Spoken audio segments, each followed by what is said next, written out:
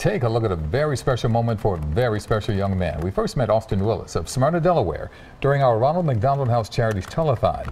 He was badly injured while saving his two brothers after a terrible car crash. Well, yesterday, Austin was signed by the Lincoln University Lions baseball team. He received his own jersey and even got his own locker.